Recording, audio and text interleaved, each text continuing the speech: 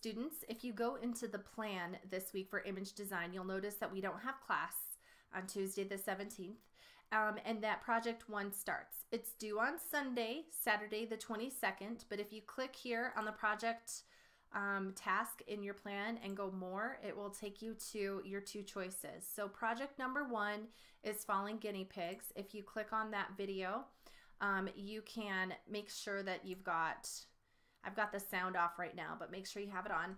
You can adjust the settings and make this speed so that it is slower. So if you find yourself having to constantly pause and rewind and rewind, you can set it on a slower speed to watch it. You are required to start from the very beginning of the video tutorial and follow the directions and create all the layers and use all the selection tools that I have you use. You are going to be finding a background and having a guinea pig and flowers falling from the sky. Does it have to be a guinea pig? No. If you want to find uh, images of puppies falling, you know, from the top of a skyscraper or kittens or anything else, feel free. Okay, have have some creative liberty. It doesn't have to be the exact same thing that I did. All right. The other option is an Andy Warhol inspired project. So this one would be very cool as well. And once again, you're going to start the video and you're going to watch it from beginning to end.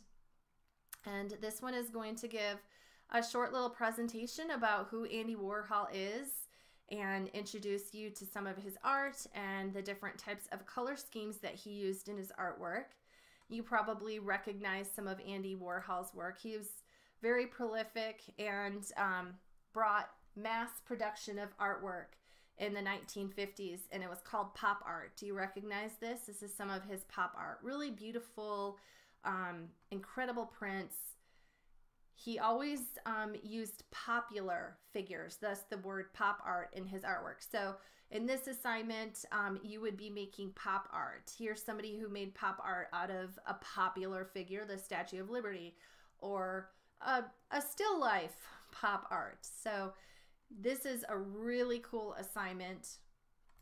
You'll be making um, basically a quadriptych and uh, it shows you everything step by step how to how to do everything how to find the images uh, at creative commons and how to create uh, the quadriptych and then how to apply the different selection tools so that you can create four different color schemes in your project. So just to kind of give you an idea of how that turns out.